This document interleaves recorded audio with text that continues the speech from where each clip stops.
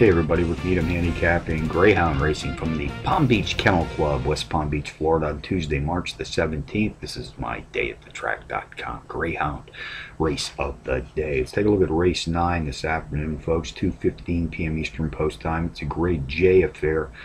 These pups are sprinting 545 yards. Using a software product called Quick Dog, I've isolated a power pup to put on top of my multiple entry contenders list, and on this entry, this afternoon, number one, Daily Prayer. I'll make a win, place, and show wager.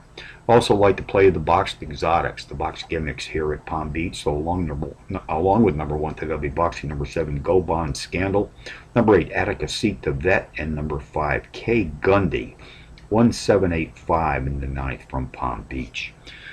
QuickDog software has helped me isolate a pair of very playable Power Pup long shots. I'm going to suggest win, place, and show wagers on both of these entries.